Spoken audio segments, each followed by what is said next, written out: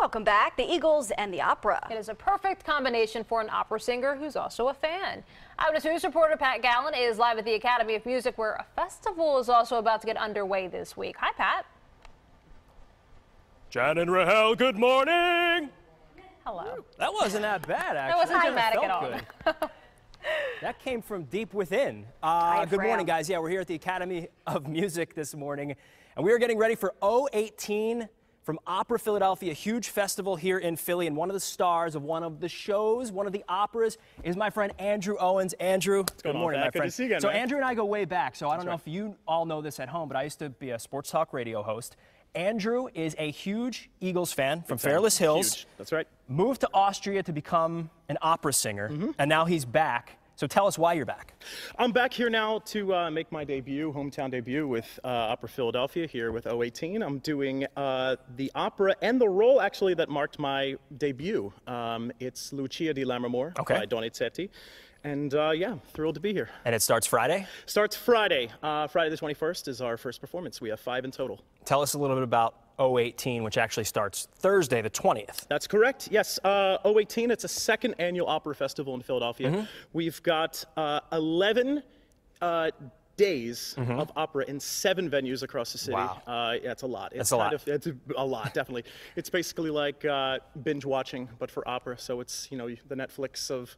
Of op- classical music, pretty much. So you can O18 and chill, I guess, as they Ah, say, pretty much, like if you want to. I like it, I like it. Uh, as I mentioned, we have uh, the opera I'm taking part in, Lucia di Lammermoor. Yep. We also have a beautiful, very moving, relevant piece called Sky on Swings Mm-hmm. at the Kimmel Center. Then we also have two pieces being presented cabaret style at the TLA.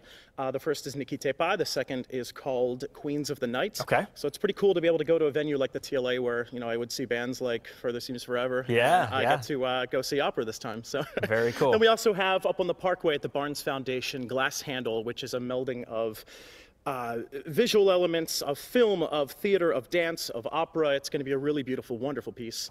Uh, we also have the Fridays at Field concert series at Curtis Institute, and then Excellent. we have the second installment uh, of Opera on the Mall at Independence Mall, which Okay. this year we'll be featuring uh, the breakout hit from last festival, uh, which is called We Shall Not Be Moved, and it is free for all you folks. Ah, we love free. We love Operative free. word. All right, so Andrew and I, like I mentioned, we go way back. We've talked Eagles over the years. That's right, yeah.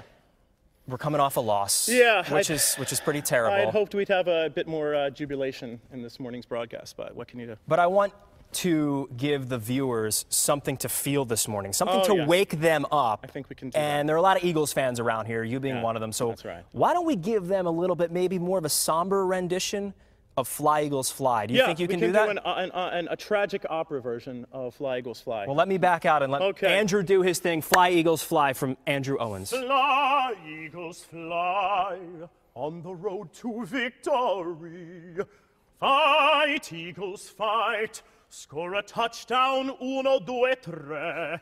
Hit 'em low, hit 'em high, and watch our eagles fly. Fly, eagles, fly on the road to victory.